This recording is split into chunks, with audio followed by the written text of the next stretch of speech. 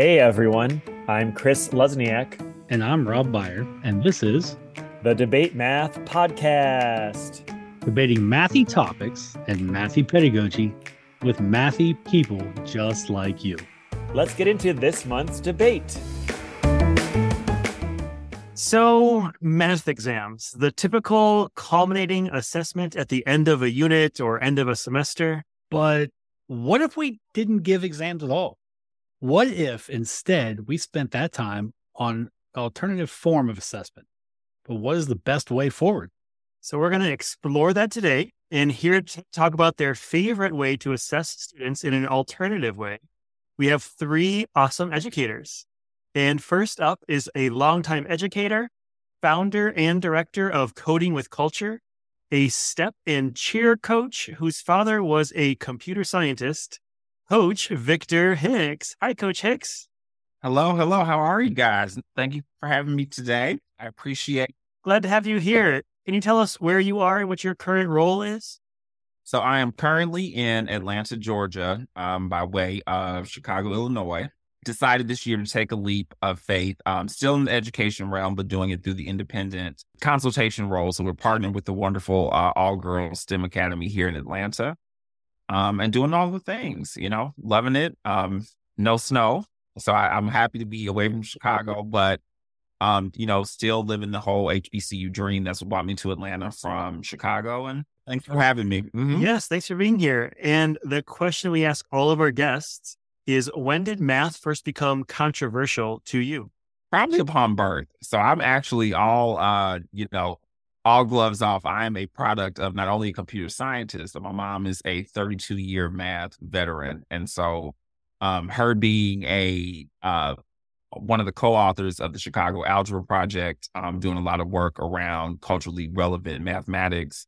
Um, I think it was always controversial in a good way. So my mom did all of the things, like all the buzzwords before they were things. You know, she had 35 kids. She she taught through the, you know, single gender. We're going to have you know eight kids in the class, 35 in the class. You know, but uh, the thing of it was was that um, consistently around parochial and public school, she you know her kids learned math. So I think for me, uh, math was always controversial in a way, more of like a almost kind of like a challenge. So not in a bad way, but always in a way of you know really pushing kids towards that that problem solving and that really looking at how to you know all the different good practices of mathematics. So it was always controversial to me in a good way because my mom was, yeah, Mama Hicks was old school, so math was always the controversial topic in a good way in my house. Wow, thanks, coach. Uh, next up is father of two, mathematics teacher, creator of professional development learning experiences, and a Socratic midwife who memorized Euclid's first book of elements and was taught to use Socratic exploration to explore dreams. Joshua Bean. Hi, Joshua. Hey there. Hey, welcome. And uh, could you let us know where you are and what your current role is? I am in Huntington Beach, California, enjoying lovely spring break here as the sun comes out. And I'm a mathematics teacher. This year I teach AP Calculus and a brand new class called Data Science. Wow. Uh, and then, you know, the first question that we ask all of our guests is when did math first become controversial to you? Uh, I believe it was when I was reading in Plato's Meno that the word mathematics meant learning. And so it completely just hit me like a thunderbolt that it was obvious and that it had nothing to do with the numbers or the shapes, but it really had to do with what it drew the learner through, that it taught them about learning and themselves and trained all the highest skills. And at that moment, like everything changed. Assessment changed, instruction changed, my way I, the way I gave points or didn't give points, everything changed. Uh, my whole attitude, it was no longer this like achievement based thing, but more about like, I, it was my job to train them to learn. And that's all I was there to do. And then all the rest of that stuff fell by the wayside. It was like clarity. And so now that's kind of uh, divisive. That that attitude is very divisive. That the that it, everything should be about learning. It it ruffles a lot of old school teachers' feathers pretty negatively. Yes, I can see that. Thank you. Arguing along with these two educators is a returning guest here, a 25 year veteran teacher, vice president of programs for the Greater San Diego Math Council, and author of a chapter in the recent NCTM publication Success Stories for Catalyzing Change in School Mathematics. Nolan Fossum. Hi, Nolan. Hey, everybody. Great to be here. Glad to have you here. Can you let us know where you are and what your current role is? Yeah, I live in San Diego County and teach in the Grossmont Union High School District, also in East San Diego County. I'm at Mount Miguel High School. I'm teaching integrated math two and integrated math three. Good. And the question we asked you last time, and we'll ask it again. When did math first become controversial to you? All right. So more recently, I've realized my earliest sort of classroom memory around mathematics, or at least one of them, and I have very few that have persisted with me over the years, has to do with a teacher who would give us exit to recess by fast retrieval of math facts. And I always come back to this experience and this one particular guy who was always the one who was the fastest. No one could beat him. I could never beat him or come close. And I didn't realize that it was something that sort of lived in me until recently, quite recently, when I was reflecting on how frequently I think about that experience. So it's controversial to me insofar as I didn't really recognize the lingering effects of thinking about how I was never measuring up to this ideal standard of fast retrieval or recall or calculation. Um, and then thinking, you know, more recently also about the number of students who probably um, felt like they had no access to that, or it didn't speak to them, or it didn't appeal to them, and and maybe that was something that completely um, threw them away from thinking mathematics was for them. Thank you for sharing that. And with that, let's get into the debate. We begin with opening statements from each of our speakers. You each have two minutes to present your arguments. Coach Hicks, you're up first. You have two minutes, and your time begins now. All right. Good evening, ladies and gentlemen. I am Coach Hicks, Victor Hicks, and I'm here to talk a little bit about project based learning. This innovative approach to education engages students in hands on real world learning experiences that are both meaningful and authentic. Project based learning is not just about acquiring knowledge, but also about demonstrating that knowledge. This approach to learning provides a unique opportunity for assessment. Instead of just taking a test, scholars can showcase what they have learned by creating a product, presenting a solution to a real world problem, or engaging in a performance. Through project based learning, students are assessed not only on their knowledge and skills, but also on their ability to work collaboratively, think critically, and communicate effectively. These are essential skills for success in today's world, and project based learning provides a way to assess and develop these skills. At all levels of education, project based learning can be used to assess students' progress and achievement. At the primary level, students can showcase their learning through a visual presentation or performance. In the intermediate and middle school years, students can present their work to their peers and receive feedback and at the high school level, students can engage in more complex and in depth projects that demonstrate their mastery of a subject. So, as we discuss assessment this evening, I invite you to embrace project based learning as a way to create a more engaging, authentic, and effective means of assessment. Thank you. Thank you, Coach. And next, we will hear from Joshua. Joshua, you have two minutes, and your time begins now. Thank you very much. Um, my claim is that engaging in interviews is the best way to alternatively assess students' understanding. For this, I have three warrants. My first warrant is that the interview process is the only method that gives the teacher a true, living, reliable expression of what the student understands. All other forms of assessment are secondhand images of what the student understands. With the availability of software such as Photomath, Mathway, and Symbolab, once an assessment occurs outside the confines of the class, a teacher cannot guarantee the work that reflects the understand that reflects the student's understanding. Face-to-face interviews ensure that a student will be sharing their own understanding.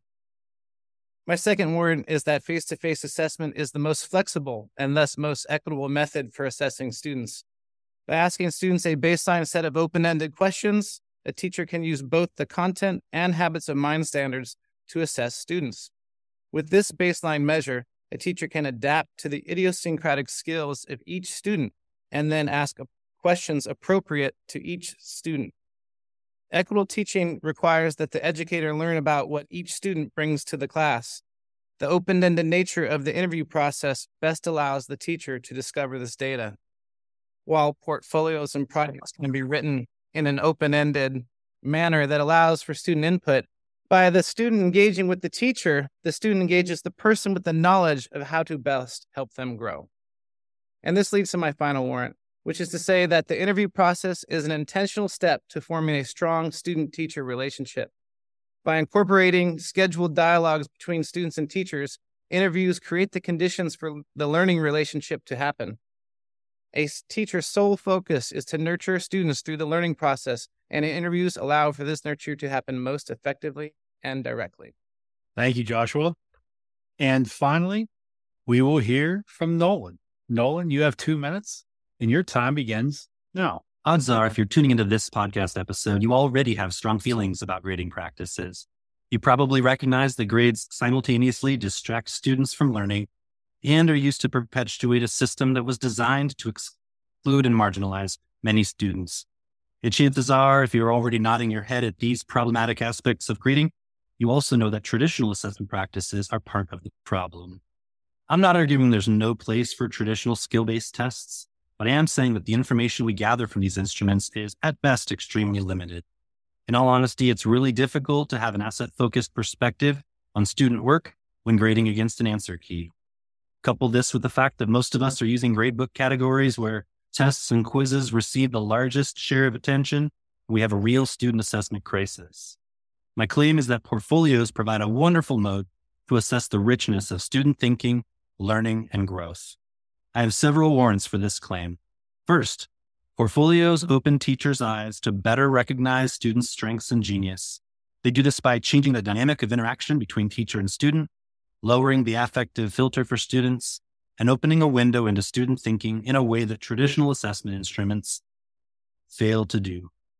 Second, portfolios foster a culture of rough draft thinking, revision, and revisitation. The learning doesn't have to stop just because the test has come and gone. Additionally, portfolios accommodate students' individual needs for pacing that meets them where they are. Further, students may look back at their portfolio entries over the course of a semester or year to see how much they've grown, review key ideas, and draw connections. Third, portfolios provide assessment without the baggage of letter grades and percentages. And finally, for those fans of Dr. Gholdy Muhammad's work, portfolios provide a space for teachers to ensure that our assessment of students includes the pursuits of identity, intellect, criticality, and joy, in addition to skills. Wonderful. Wow. Thank you, Nolan. And thank you, all three of you. Wow, we're off to a good start here, digging in uh, deeply into uh, grading and assessment and all that, and how they're all intertwined. Um, I think I before I, I have a lot of questions I want to ask about your kind of style and things, but can we back up and just like how what do you define as assessment, or what does like the word assessment mean to you? You could just go back to the line one more time, starting with with Coach Hicks and well, it's interesting because for all of my esteemed uh, colleagues, I think that, you know, looking at the project based learning, what they spoke about, um, one of the things that struck me immediately was the commonality in what we talked about. So we look at, I think, at the Venn diagram of our conversations, what both gentlemen talked about what are the assessment pieces of what I do. So, like when we look at, you know, our design of HBCU project, the kids have to do a you know portfolio whether it be digital or how do you know how do you present this you know as the h you know this college recruiting officer how do you present this campus? So that's the portfolio piece. How does your coding come into that? How do we communicate you know how we use the design thinking process? And then with the interview the interview piece totally speaks to because the second part of my most of my kids you know project based learning thing is okay now we need to communicate about this compu- computational thinking. How did you do this? You know talk to me about now that we have this product, you know, what were the what were the pieces? So I think to me, I mean, and I, I mean, just speaking kind of just from the vibe I got immediately was like, though I think it all kind of works hand in hand. Those are actually the assessment pieces that I use in my project based learning units to demonstrate understanding. Because I think the the caveat of my piece is that you have to make sure that there's those tangible pieces because projects can get lost. It gets kind of lost in that field trip you know, mindset. So you have to have the interviews, you have to have the portfolios because those are the things that you can show and say, okay, this is the here's the meat and potatoes. Here's my, you know, check boxes to those objectives of those standards, you know, that I'm I'm looking at alternatively. So I think all three. I, I have evolved to that, but let me first give chance for Joshua okay, and Nolan to weigh in. No, I, I have more. I want to say something to that, but let me first give them a chance to weigh in on how. What do you define as assessment, or how do you define assessment? Well, first of all, thank you very much. That was I do see the Venn diagram of all three. I, they, I, they have to kind of work in cohort with one another. Um, I think for me, this always raises a question of what is assessment, you know, like, um, and, and what are we doing when we're assessing? And like, so part of mathematics is performative. They do need to execute equations. They do need to solve. They have that to need to attend precision. But then again, there is another aspect that I like the rough draft aspect of assessment, which is, are we really asking them to demonstrate a whole mathematical way of being, which has rough drafts and edits and has final drafts. So uh, for me, a lot of my assessment in the class comes from I'm walking up to the whiteboard, the students are at the board. I have in my mind the math content, I have the habits of mind, and I'm just seeing if they check those boxes.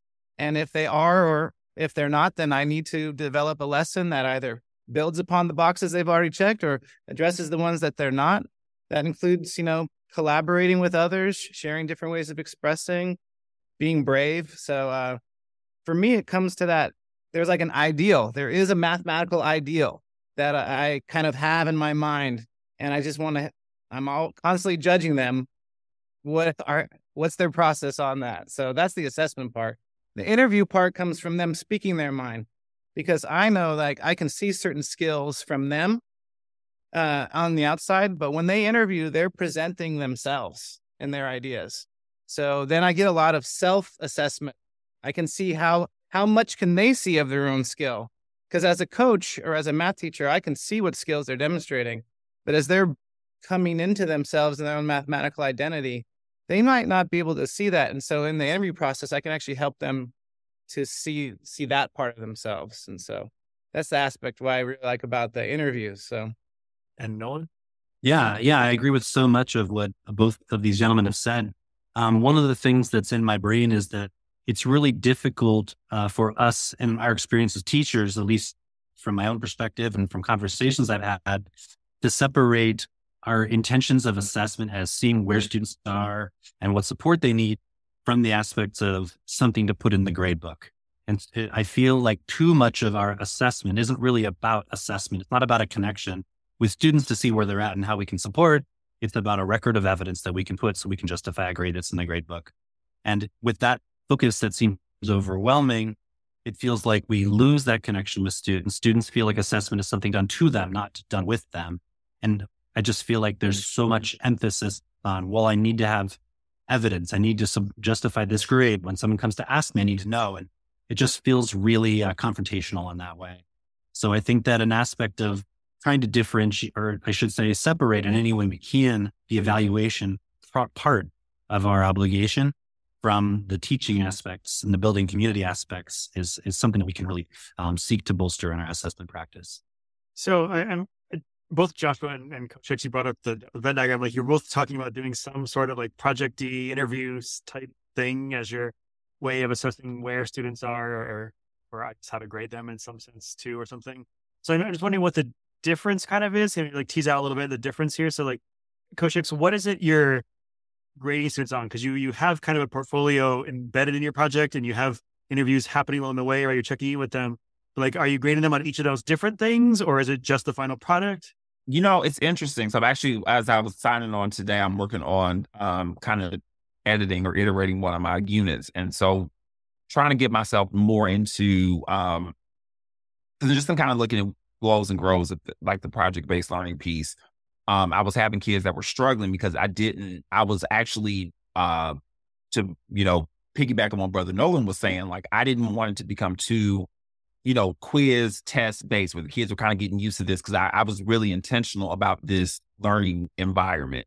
And so the the the sacrifice of that was I had kids that were like, yeah, I really can't manage you're not saying anything to me until you know week five because i'm used to i need some type of so i think it's just really looking at um i guess being intentional so you know really looking at those projects um and then once you kind of break it down into the week so and again you know use my um you know the methods of my colleagues so if that interview is taking place that that will kind of be like my evaluate step. so looking at the five e's that would be at the end. So that would probably be one of the things I would weigh a little bit heavier because you've kind of been through the process. Um, as far as the checks and balances, that portfolio piece. So uh, our kids build their Google site, excuse me, their HBCU through their a Google site. So each week there's like a smaller less risk, I guess, piece um, where kids can, you know, but again, that's more regular. So my kids that might struggle in those larger, you know, at the end product, you might be like, okay, well, you know, baby, you tried. I'm, I'm, I'm so,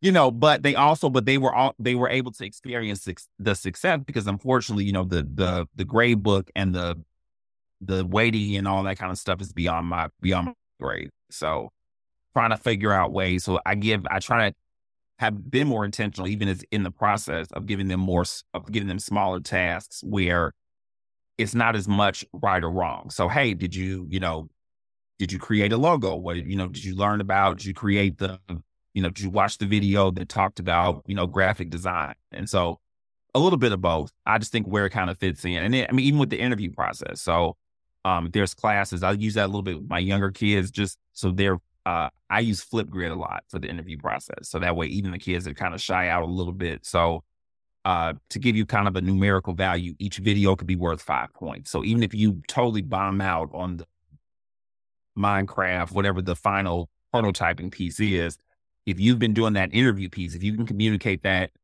you know, your computational thinking, you know, you're you're still going to experience some kind of success because that's really it's like the soft skills you want to take away. So it's that gray line between grading them, but also using that grading to you know not beat them down and also cultivate the the you know the support that we want them to have. So yeah, yep.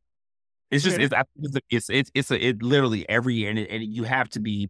I hate to use the buzzword differentiation, but I guess every group of kids because even two second grade, first quarter to second quarter. Like I had one group of kids where the interview process was heavy because those were my talkers. Now, if I looked at the coding, God bless them, mm. but they could talk, you know. So, I, so Flipgrid was heavy. So, like their big thing was their presentations and their commercials. So, like I had to kind of weigh it a little bit heavier so they would, you know, be validated in those skills. So, it's it's it's a it's a ebb and flow.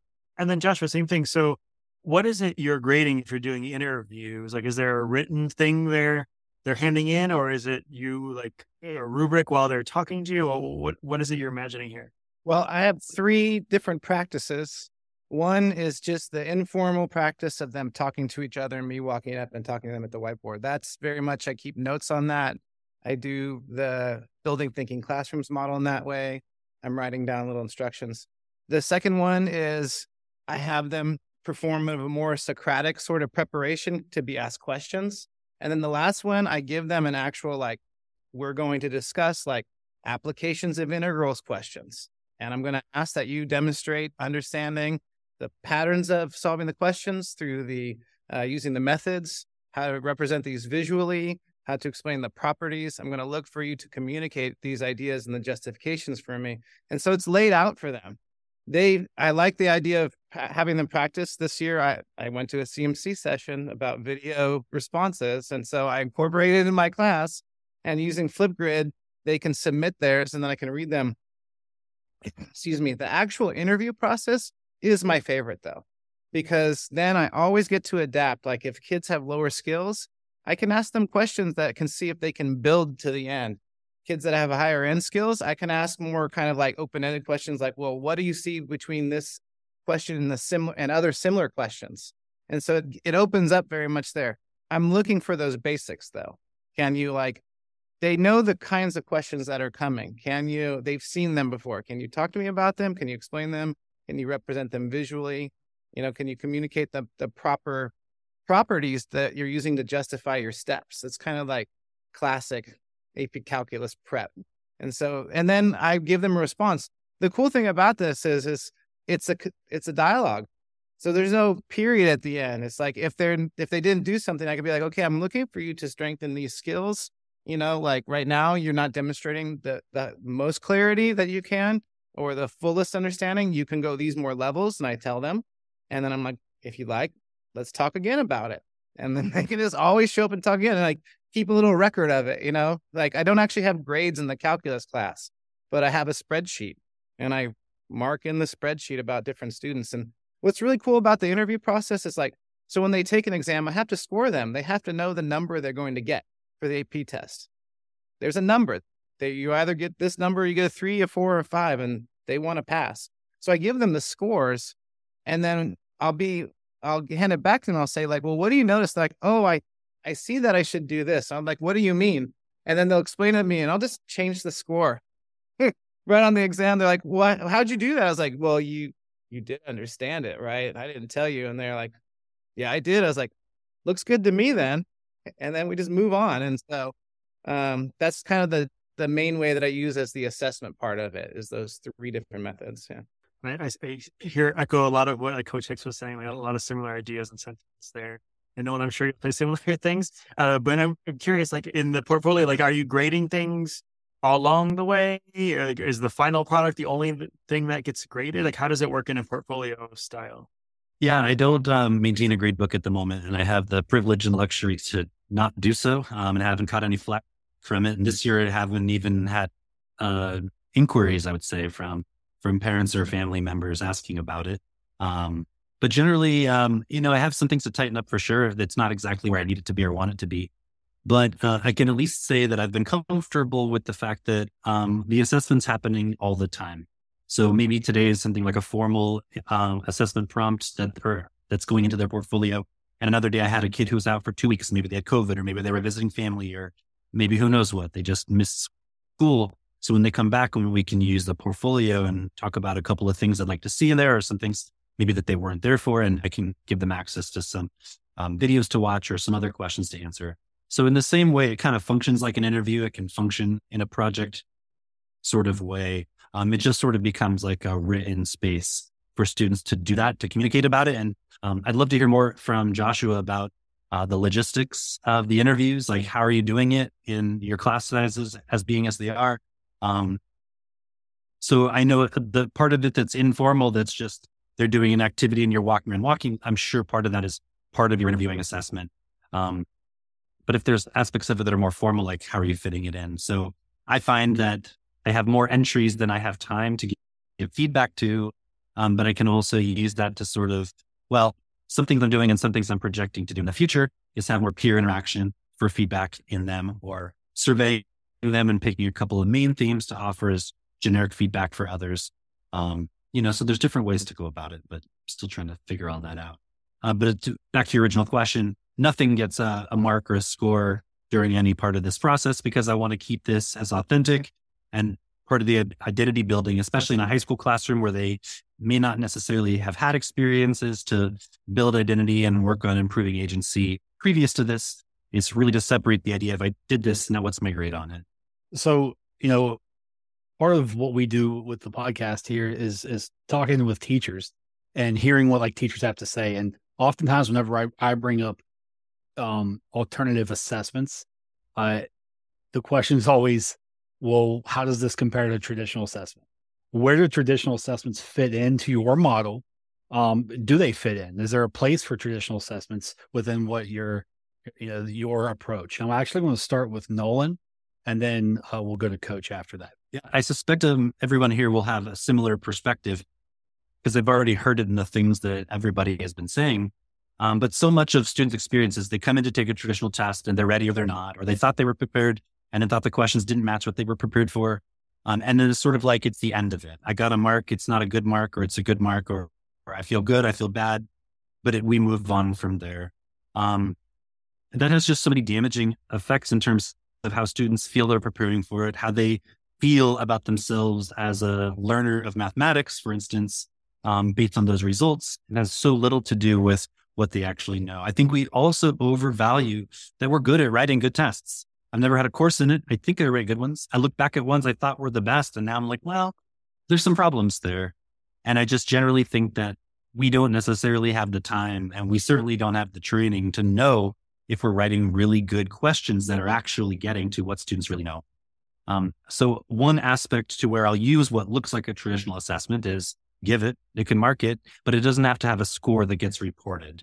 And just by removing the idea of recording or reporting a score on it, now it becomes something we can use as the basis for uh, an entry in a portfolio. Now the entry isn't so much um, just the score that's in a grade book, but it's a reflection from the student on the things that they clearly understood from it, the things where they mm-hmm. clearly have gaps, the things where they need to revisit, all those kinds of things. And so it's like, hey, you blew it on a test. It's not a bad grade and now you're done. It's like, hey, you didn't do very well in the skills assessment. So let's talk about how to bolster those skills. Let's talk about math practices. Let's talk about habits. Let's talk about other things we need to to to show that we can make growth from this place. I'm gonna go to coach and then Joshua after that. Coach, same question. So I think for me, it's just I, I totally uh, love that answer. I think you know really being intentional about um, you know setting that culture in your classroom. You know, I think one of the things I always tell I, I love about teaching outside of the core class area is that I really get to focus on you know good pedagogy, and so you know even with my students being intentional of saying to them, of course, you know, teaching all the grade levels, having to kind of you know tailor that message a little bit, but in telling them, you know, but I think kids respect kids are very good judges of um intentionality and and and where you're coming from. So if you're really just trying to get them to pass the test, they know. They may not be able to tell you they know, but you'll see in the way that they move. So for my kids, you know, it comes down to and again that it, it came from a really a, that that iterative process of saying, okay, you know, I want the kids to be able to get this. So hey, even when I'm introducing my centers, I know that, you know, if you struggled in this in this question. You know, if we're talking about, you know, you know, setting a variable or creating a variable in a in a computer science project and you struggled on that assessment question, you're in group one. So whatever that hands-on activity is no, you know, it's it's literally for that learning. It's going back to that that educational process. And I think all the things that I loved about even looking at how we can, you know, make that uh, assessment authentic is that we look at you know design thinking you know what do we really want question what do we really want kids to be able to take away from this? You know when we look at our current system of education that was to provide kids or excuse me to prepare kids for the industrial revolution. We're coming out of the one room farmhouse into these factories where you had to be able to perform these tasks that were repetitive you know but we're in the information age now. How often are kids going to be required to regurgitate the answer to a question. We need to think, we need them to think about, you know, and again, how we do it. You know, how do I continue to provide evidence? So again, if we take that assessment question and break it into that portfolio. So if I'm struggling on, you know, and I mean, I'll take it out of the computer science realm, you know, understanding, you know, government, my student portfolio needs to show here's some evidence of me being able of showing growth over how of understanding this concept you know, we bring in the interview process. So I think, I mean, I think it's we really have to be radical in looking at how, you know, being completely understanding of the because again, we right, we don't pay, we're not the superintendent, so we we don't make the big bucks. So you know, figuring out how to tailor it within that process, as hopefully thinking optimistically, we're growing out of that, but also not beating kids down and you know, developing a anxiety about learning. And definitely, I think we talk about computational, anything computational, math, anything, you know, transactional science is that is the mentality that comes along with that. So even in that, in that process, in that pedagogy, you know, we have to be intentional because even if the concepts aren't understood, if we're creating these, the, this culture of anxiety or I can't, or, you know, and I think sometimes that that test of right or wrong, where this kid who, who I'm sure all the three things that we're saying could be brilliant and could demonstrate understanding beyond compare, but will bomb on a test every single time. But again, when he goes out to work for Google or Microsoft or, you know, Amazon, are we really going to be asking him to fill out a test? Like, when is he ever going to? But he is going to have to be able to interview and communicate his thinking. He is going to be have to be able to create this, which they totally may be able to do. So it's like, you know, but I don't know. I'm gonna get off my soapbox. That would be a whole. we'll be on here all night. well, I, I want to give Joshua a chance to, to answer the same question too. Go ahead, Joshua. I, I think what I really appreciate about my colleagues here is the, you know, the idea of using assessment to help build identity and especially not damage identity. You know, we have Nolan's story. I don't know, Nolan, if you were going out last every day or not. Now you're a math teacher, you know, something like that for testing last and performing on the exams last. So it's just kind of terrible that that occurs. And we we see that we want to go outside of this. I always just come back to the fact that like like if I'm teaching somebody to shoot and and a bow and arrow and they're missing the mark, they have to know they've missed the mark. So that's just our assessment. Now, what we do with it emotionally after that is different. Like you have to perform skills, you have to demonstrate certain attitudes and states of mind. So the traditional test is valued by me and, and I value it in terms of like even in my data science class, I, by the way, am learning to code and I stink at this. And but I have to get this the students have to do the programs. I gotta do the programs. And So in the end, I think that's where the attitude about the assessment and what we do with the grading system really comes in. Because if it's just stagnant, you don't involve learning or growth, or you don't have a growth model, it built into your your grading system, then you you show them it doesn't matter. Cheat, just take the shortcut, make an appearance. So uh, I I, I kind of want to value both sides of that. You know, like when the first day of AP Calculus, I asked the students, "How many of you here to learn calculus?" And three out of the twenty five raised their hand. And, and the next class was three out of twenty five, and I think they did it because they felt bad for me. Because they were all like, "Oh, they all just want to pass the test. They all just want the credit, right?" You know, and so I have to also honor that and make sure that I'm preparing for that. The final thing about that is like on the AP test, 50% is a four out of a five. So it's humbling. So if we're just talking about performance and we're not talking about long term growth and we're not talking building in models to reassess and have them generate that understanding as a whole, then they're never going to get there. They're going to they're going to look at it and be like 50%, I failed. They still do that no matter how many times I tell them. So I kind of like the assessment. I, I don't want us to get rid of that. If if they have to produce a code or a web page and that web page doesn't come up and it says error, guess what? They were wrong and they need to be told that. And that's, we wouldn't want our doctors to not diagnose us correctly because of our feelings. You know, we'd want them to help us understand what the diagnosis was and then what are our next steps. And so in that way, um, I think it's important for them to get feedback. Now, the last part of this that really I'm still trying to work on as myself as a learner is how do I create those genuine self reflection like moments with their exam. I have methods, I try them. I don't attach points to them. I still think they're faking them. So I want, how do we then, because it's without that self reflection, any of our assessment and our good intentions don't lead. So how to build that into the assessment is kind of where I'm looking for. And so, and it's always the always the word math that I, I come back to so often. It's it is my religious thing I will preach to the that mathematics means learning. And so if you just assess them and it's dead, you're not really a math teacher. Like you, got to allow that. You got to allow for some growth and some change. So, so I, I want to take my teacher hat off and put my administrative hat on for a follow up. So, how do these three different, you know, assessment alternatives prepare students for standardized tests? Because that's what we're, you know, we're, we're graded on in terms of the school. Uh, sometimes it's finance. Like, how are we preparing our students for standardized tests? I'm going to start, Joshua. I'm going to come right back to you, and then we'll go to Nolan and then Coach. All right, I'll I'll change my perspective here too. Uh, come from the upside down world to speak to you about this because uh, I know I can I can do this speak well. I came from the, these schools. Uh, no, well, in one way, the interview process really addresses again that that strong teacher student relationship. So I get to address their content individually with them. It only takes five minutes at a time. Like a five minute interview is powerful to get a reflection on a certain concept. So, in terms of preparing them for the exams, I can be much more precise in my direction for them. Again, as not all patients follow their doctor's orders, so too not all students do. And that part's up to them. You know, like I have laid out for the students the the recipe for passing the AP test. We have four weeks until the exam, like four weeks from today. There is a steps that can be taken. If they want to walk them, they, they can. And those that standards based exam will reflect well if they walk on that path. And so the interview allows me to diagnose them better in that path. Uh, Nolan? Thanks, Mr. Rob Administration Man, um, for asking about this. I know that it's important to schools to see their to see the moves the teachers are making have an impact on standardized tests it's the wrong focus, quite honestly, but it's a focus.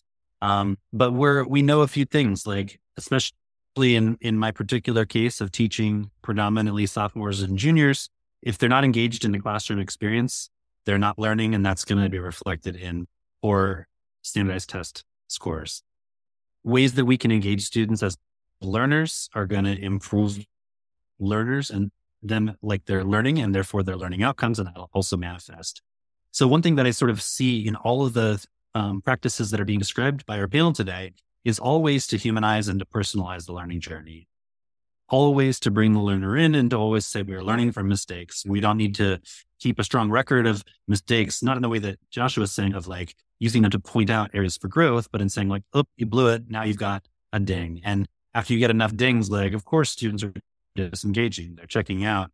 And at that point, like what you, what other methods like how are traditional assessment practices at that point doing anything to benefit a student? Prepare them if they already feel like this isn't a space that's for me.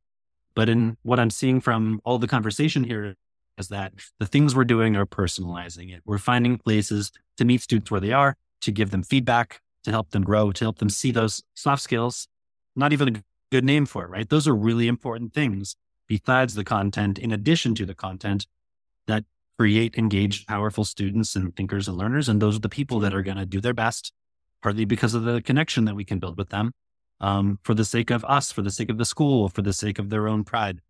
Um, you know, so I think that there's an avenue to address concerns about whether these alternative practices are helping students show growth. Of course they will. Like anything we're doing to build classroom community is going to have a positive outcome in every aspect. And that's what I going to say. I think a lot of times we have to look at what are the benefits, you know, and again, I think that was a big part of me even going to Coding with Culture is that I wanted to, you know, be intentional about um, providing the the culture because the thing is that regardless of whatever we are, you know, as as much as data driven, and I think there's, you know, no shade to that. There's definitely, you know, merit to that. But these are also small, the smallest and most impressionable people that these things are happening to, these processes are happening to. So again, we have to look at, you know, what are the after effects and, and what do we need to be able to do to pad them and to prepare them for these situations? So again, is yes, we want them to be able to have these, these, you know, standards based things, but we also don't want them to come out of this, you know, a total hot mess. So how do we build them? How do you build the confidence? You know, how do we really build the, the things that once the standardized tests stop mattering, you know, those takeaways because there is some, as murky as it may be, you know, there is some life skill in that. But I think, you know, it takes those opportunities. So they cannot be, it's not, I don't think it's either or. I think you have to have both. And I think, you know, those schools that work are the ones because, like you said, so much, and I, I love the fact that you framed it like that. Like that's beyond our reach. We don't, we, as much as we could hate it, I, I do, you know, um, but I I have to pay my bills. And I, so even as a consultant, I have to exist within this world of education as it exists. I have no intention, to, I have no desire to be an administrator. So I know that that'll never be within my, you know, realm of even discussing. So it's like, how do I, within this, you know, knowledge base and, and, you know, my belief in pedagogy and what I feel is important in that computer science classroom, how do I take, you know, what these kids, so how do I build them up as much? So once they have to kind of go into this realm of whatever, you know, they have the confidence. And so even if they don't do the best on the standardized testing piece, they're confident in themselves enough as a critical thinker, as a problem solver to be able to say, this doesn't measure me. You know, this this is not an adequate piece of I know that and again, I mean, will they be able to articulate that at eight? Probably not. You know, but I think when you build that, but that's why it's up to us as the adults to provide those pieces as much as it as much as it may not be a tangible result, that's how you keep the kids going. Because my thing is, if I'm a critical thinker and I'll never do well on a test unless I have a class where that critical thinking is somebody saying, This is awesome. I, this is amazing. This is amazing. This is amazing. You know, just think about the scope of an eight year old's day. When you walk out of that milestone test, you're coming into my classroom where I'm saying, Hey, I don't care if you bomb. Look at what you're doing. You made this robot do this. You thought about this process. You failed. You kept going. You persevere. So, as cliche as that may sound, I think that's how we help kids prepare for standardized testing because it is mm-hmm. damage. I mean, you know, let me not go on the record as saying that, but you know, I mean, when we think about some of those things that it it unfortunately reinforces in our kids, we have to be our goal in that process because standardized testing is such a part of our culture is playing the the role in that, being the band-aid, being the cheerleader, being the mentor, being the one and saying, mm-hmm. Hey, you can get 95 questions wrong. You are still capable, you can do it. And there's in the real world, the gift that you have means so much more than this. So, you know, like I said, I think it's as cliche as it is, that that's where we come in. It's, it's not the tangible pieces. It's not us, you know, doing the test prep. It's not us. And it's interesting. I even said with my administrator, I'm like, I this year that was one of the things I stood by. Like, I don't want anything, I don't want my kids to see me in that testing realm because going into my own business and providing this culturally relevant, sustainable computational business, I have to be that person that's not a part of that. Like I don't Coach Hicks has to be that mm. person that's like, hey, you're creating this, you're a thinker, you're you can feel everything. I mean, I shouldn't say you can feel everything, but this is gonna be the place where I'm gonna keep saying, Yep, here's that here's that piece that we're going to hold on to and this is this is why it's valid and this is why we're going we're going to show you all the ways to be excellent in that so you know we're we're we're the we're the cheerleaders i think of the of the standardized testing piece all right and and let me kind of follow up that was i, I want to think more about um how to respond to naysayers I, I i'm in a more traditional school at the moment i'm just thinking about some people who might say things like you know if it's not a like t- you know a test this, this big official test it's not uniform. It, it's um, it's not as rigorous, right? Because they have some time to work on it on their own, and they could use the internet or something. Or um, they they need a test because that's what they're going to have in college is like exams all the time, right? So to prepare them for college. So so so just thinking, how would you respond to a colleague or other teacher you interact with who's kind of a naysayer to we have to stick with tests because that's that's what's rigorous. That's what colleges do. Like, how do we help work with a colleague like that or adjust the needle on their thinking? And I'll let anyone jump in on this. First, I I kind of ask myself, who's who am I talking to? Uh, am I talking to a person who who is going to be open to listening to ideas or and maybe open to coming and seeing it in action? Uh, when I started doing the thinking classrooms model, my fellow mates in my department basically got on their phones the oldest teacher in the department came by and watched it and started it. And I was like, I get goosebumps when I do this. So I wouldn't waste my time on the other people in one way. So I know that sounds terrible, uh, but if they're open, then I would start to talk to them about like, well, what does it mean to demonstrate math understanding? You know, and what what are we doing when, when we're judging them in mathematics? Are we only judging them for performance, or are we judging them for the habits of mind? If so, then if we're looking at these other habits of mind, then we have to assess them differently. Paper doesn't do that. How are you going to judge whether somebody persevered to a solution? You know, like you, are not going to do that. Yeah. How are you going to judge whether or not they can represent the math in multiple ways? You know, and use models like as you're you're not going to have that in a paper and pencil test. And in that way, that also just gets at one way of being mathematical when there are many other ways. And so then I invite them, I invite them to come see it in action, like, come, like, come watch it. And then when they watch it, they're like, wow, that was incredible.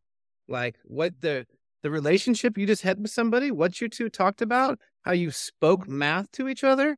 They're like, wow, that was amazing. And I'm like, well, you could do that too. Here's some steps. And so I try to try to have them look and not necessarily if they're open, criticize their way and tell them, oh, you like you're just traditionalist and you have a closed mind and you're coming from your one limited prejudice way of viewing mathematics. Um, but just ask them and invite them into that world. And those people that then come by, they get they get turned on, they see, and then they recognize like, wow, like I had some administrators come by and they were like, You're doing real education. You're really helping them to learn these executive skills. And I was like, Oh, that must that's good, I guess, you know? And so uh, they could see once they came into the class and observe, because I'm not here to proselytize and convince people. The evidence is in the learning experience that the students go through. And so try to invite them in to see. And Nolan or Coach Hicks, anything you want to add to that? Yeah, I mean, there's a lot of folks out there claiming that college works a certain way and the college monolithically is a certain way. And people don't really know what happens in colleges these days unless you're in it right now. I imagine that what happens in a literature class is different than what happens in an anthropology class. And that's different than what happens in a mathematics class, is different than a physics class, a computer science class. So there's no way for us to say that the way that I think I'm sustaining something that I'm calling rigor in my mathematics class is preparing them for the ubiquity of college. There's just no, that's a, that's a nonsense argument. So let's get to the fear of what it really is, right? What do they think that is missing and I'm also going to challenge them on what they think they're capturing. Um, I had this really awesome activity. It was like a multi day activity we did in a college algebra class in a college setting where we would just Google uh, college algebra final exam PDF. And we took the most popular search result. And kid looked through it, and this was near the end of the course. And there were some things they knew how to answer and some they didn't. But we just did a little breakdown into like, what's this thing really asking and what's it really testing, right? So the framing of the test was about, you know, no notes, no aids, no calculators, a pencil and nothing else, I think was the direct quote from the instructions. And then there was one question that had some obscure factorization problem, but another question that asked them for the solutions of some equation involving a radical. And I think anybody would look at it, and many groups of teachers I've talked to and worked with have looked at it and said, looks like a pretty straightforward pre-calculus or college algebra exam. But there's so many things it's testing and so many things that are not being tested. If you're giving a review, is it similar? Or is that really preparing kids to know things, or are they just learning how to replicate when they see certain things? And so, you know, when we open up our way of doing it, mm-hmm. like opening up a graphing calculator to go with the question, or ask some deeper thinking questions, or make them a little bit more open ended and ask them some what ifs, we get a whole different window into what students know and what they understand, where they're at, and where they can go than just stock closed answers on a traditional test. So, like Joshua said, it's a it's a good measure for doing a certain thing. It's not the only measure for all the things that we want to know.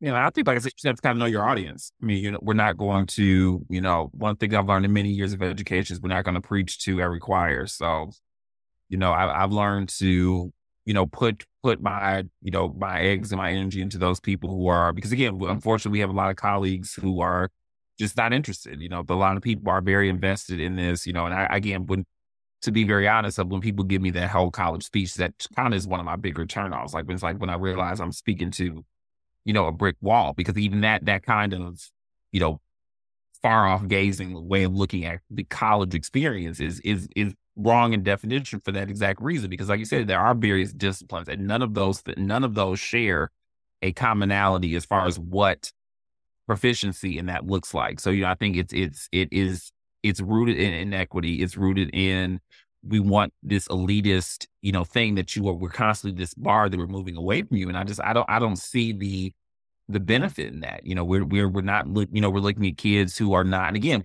what are we preparing them for? Because even like I said, we look at colleges. How do we adequately? How do we talk about in four or five years? We have kids that are looking at certifications in these, you know, in cybersecurity that are no longer interested in that college experience. So once that mystique goes away, how do you validate the learning? And I think that's unfortunately where the college pieces come in. It hasn't been to really look at inquiry and and, and deeper understanding. And, you know, it's become this like, this is how we keep moving this bar. This is how we keep making it elite. This is how we keep moving it away from the masses. And it's like it's it's it's outdated, you know. But all that to say, a lot of our colleagues you know, and I realize again, my my business is children. I'm not, you know, I, I would love to have like minded people who thought the same way. But if I'm the only person and I've been in schools where that's happened, you know, my my job is to close my door. I think that's one of the great things about coming from a you know veteran educator. You know, being raised by uh, several veteran educators. You know, um, but being able to say like, you know, you that it's your classroom. You know, you you hold it down and if you know it, it's great to have people who who think like you but that's not what you're here to do i think can i mention something nolan you mentioned a very good thing of like addressing what they are afraid of and the naysayers often speak from fear and and if we don't address what they're afraid of and get them to put words on that then we can't show them how even our method would solve that so i first try to actually i forgot i do try to have compassion because most of the people that are teaching in a traditional way are just trying to survive. You know, uh, you got 30, I could have 185 students. I don't this year. I only have 120 students, which is different for our demographic, but I could have 185 students. How would I give five minute interviews?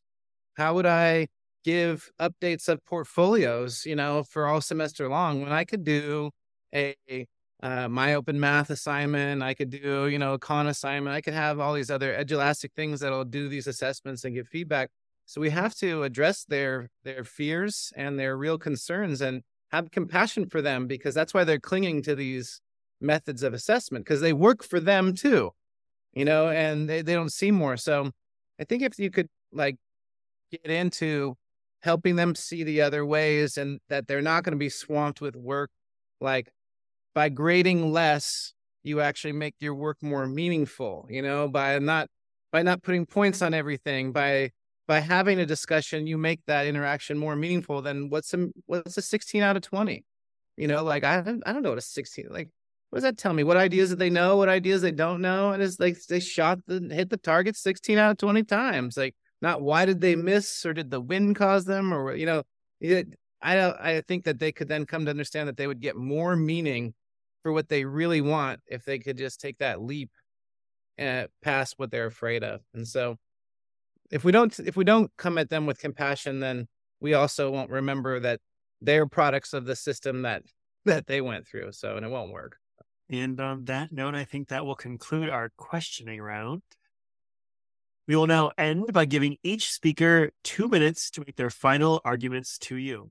And we will begin with Coach Hicks. Coach Hicks, floor is yours. Awesome. So again, I just would love to um, reiterate the uh, the success and the the growth I've really seen from my students um, in project based learning. Um, I've again been around the barn a few times in the educational field um, and really looked at some best practices, and I've uh, been most pleased uh, with what my students have been able to uh, not only show me what they've learned, but also at the same time develop very positive learning skills. So I think again as we are assessing students, wanting them to be in a space where we're not crushing them um, if they're not able to um, produce in the more traditional um, way that we've used to assess students. So I think um, for me, it definitely speaks to equity. It definitely um, opens the door, connects to a lot of things that I'm passionate about, an educator. I'm sure many of our listeners, um, again, as we one of my brothers so eloquently said, you know, if they're listening to this, they're looking at alter alternative ways at at getting students to develop that understanding. And I really, really would say that project based learning is one of those ways.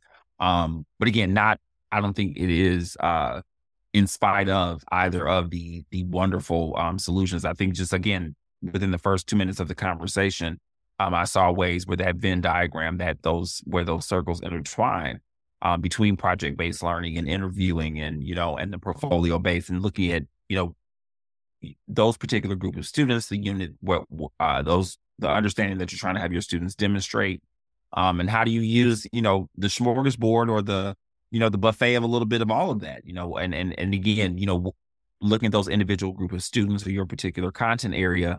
Um, of course, one may be a little bit heavier, but I would think, like I said, both all of what, what we're talking about really kind of speaks. I think more so just if looking at from the project based learning unit, being the method um, and then what Nolan and Joshua both talked about are kind of the ways of demonstrating that understanding. So I don't think any of the three methods, thankfully, in today's conversation are a either or. It's just how do you fit all three pieces to demonstrate um, understanding in an alternative way. Thank you. And next we'll hear from Joshua Bean. Joshua, the floor is yours. Uh, well, thank you. First of all, um, if you're wondering about interviewing, you should try it. You should give it a shot. If not even as something for the whole class, just with some five, ten individuals. Set out a set of open-ended questions that can be covered in an entire unit that can go lots of different directions. Have some baseline, kind of beginning, middle, and more advanced sort of topics. Allow for multiple ways of representing things and allow for yourself to listen to the student this is really the fundamental aspect of being a teacher is a relationship. Without a student, if, without a teacher, there's no student teaching relationship. That's not to say learning can't occur on its own without a teacher. I'm, I'm totally okay with that. But as we are teachers, we want to foster that relationship.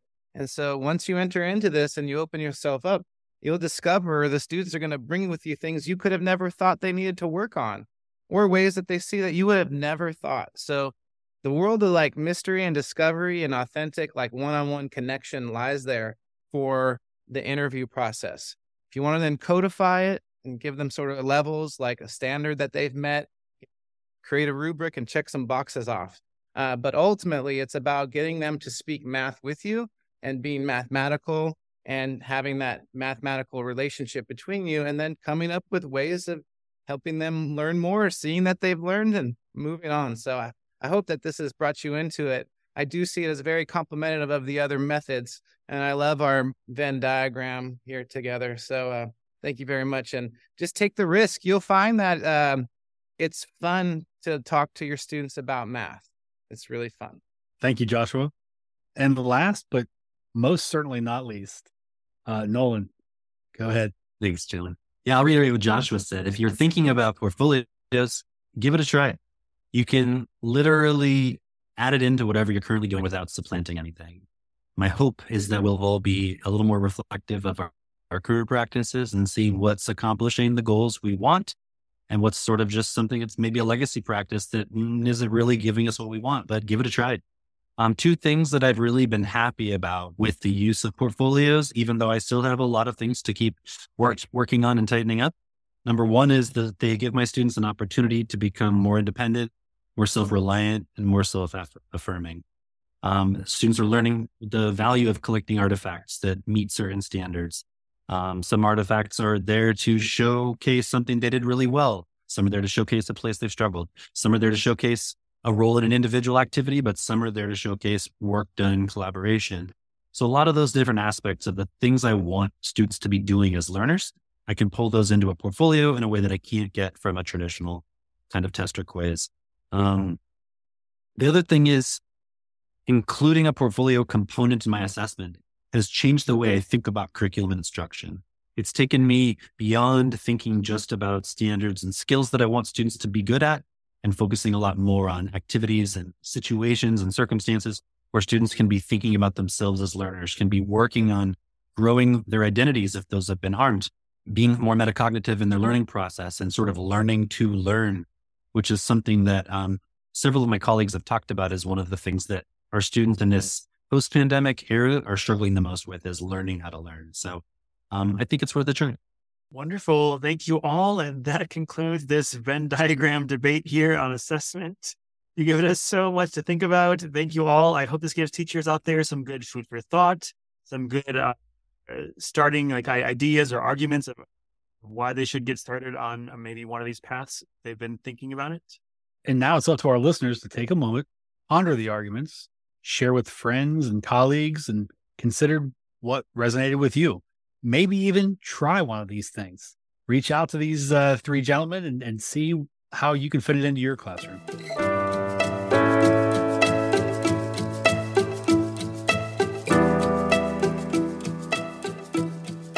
Be sure to go to our Twitter at DebateMathPod to share your thoughts on this debate.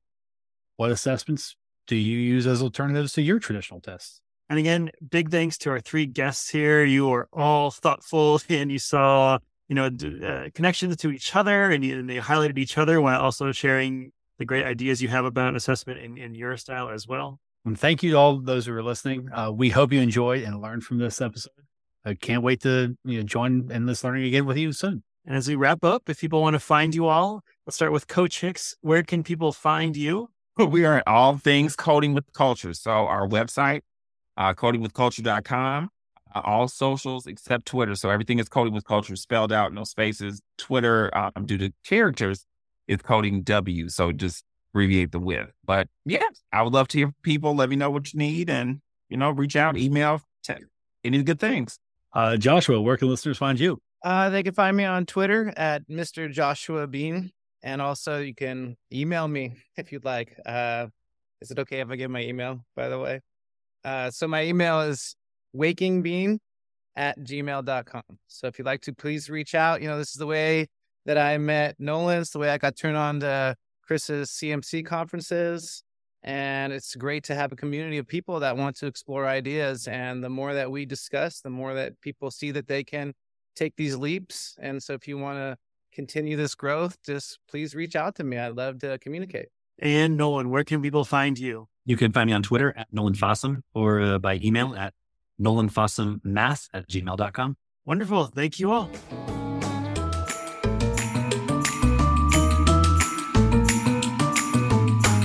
Want to learn more about incorporating debate activities into your math classroom? Go to luzniak.com slash podcast to sign up for my mailing list and get your first set of example debate activities you could use with your students today. Go to luzniak.com slash podcast. Don't forget to reach out to us with comments and questions on debatemath.com or follow us on Twitter at debatemathpod and follow along with hashtag debatemathpod. Rate us and review us on Apple Podcasts or wherever you listen to this podcast. Your feedback is super important to us. Well, that's all from us. Looking forward to debating with you more next episode. Until next time, cheers.